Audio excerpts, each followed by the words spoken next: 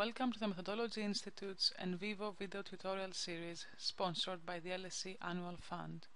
In this tutorial I will show you how to create and import documents for your project. NVivo can import and handle the following formats TXT, RTF, PDF and Word.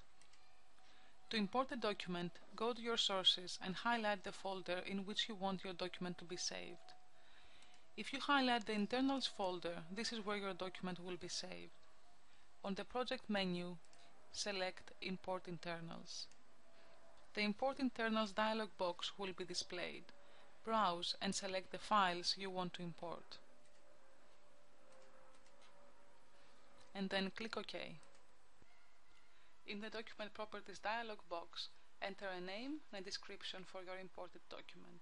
If you do not want to make any changes to this document, click Read Only. When you click OK, your document will be created.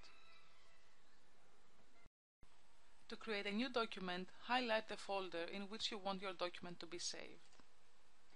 Click New and select Document in this folder. A new document dialog box will be displayed where you can type a title and a description for your document. When you click OK, your new document will appear in the detail view. You can now type in your document. This works as a common word processor. When you have finished typing your document, you can make it a read-only file. To do this, in your list view, highlight your document and right-click.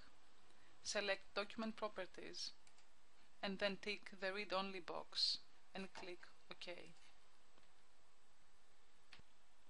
Note that you can create new folders in your sources and save them under any of the pre-existing folders. You can do this simply by highlighting one of the folders, right-clicking and selecting New Folder. The New Folder dialog box will appear asking you to give a name and a description of your folder. When you click OK, your new folder will be created.